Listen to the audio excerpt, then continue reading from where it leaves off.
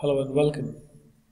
In this video, we'll look at the process of setting up category archive pages in Divi Blog Extras uh, and a Divi4 theme.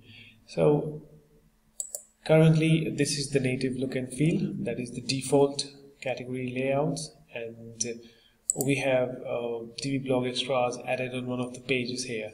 So this is the standard functionality of Divi Blog Extras. You can create a page, add the module and it will be displayed. The plugin, the plugin has its own setting to create archive pages, but we can only create one layout which should be same for all the categories. But uh, if you use Divi4, you would be able to uh, set up separate layout for separate categories if you like to. And uh, this is how we do it.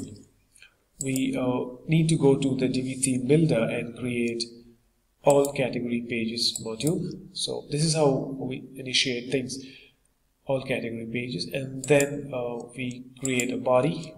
We could use a layout as per our requirement. We can include anything on the page that we like along with one module of Divi Blog extras. So here we go.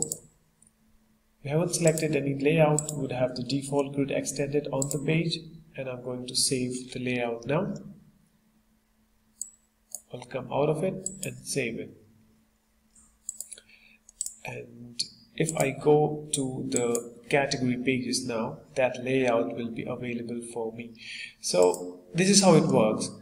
Assuming the fact that uh, there is a user or there are some categories which you would like to have a separate layout. So you could do that as well in a matter of clicks. You just need to replicate this design or start from scratch and uh, add a module here for example like this and uh, specific category pages. So let's say cars would have different layout and the layout that the cars would have would be built again and it will be separate from what we just created.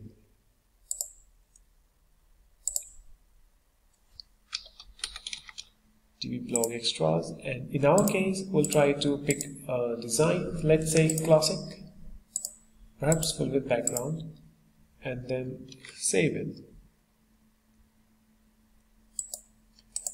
And uh,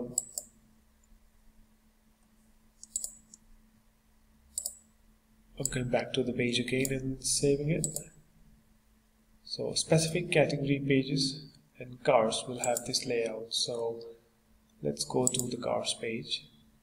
And here is the layout for cars this is how it works. If you like to extend this layout to be used on any other page, let's say author, that could be easily done. This is the default author page. You just need to use the magical Divi4 feature and make it work for your author's page. So this layout would be used on author's page as well. If you like, you can extend the layout to the tags. So this is how it can be done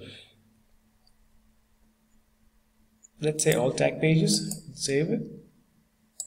Here we go. Let's reload the page. And here it is.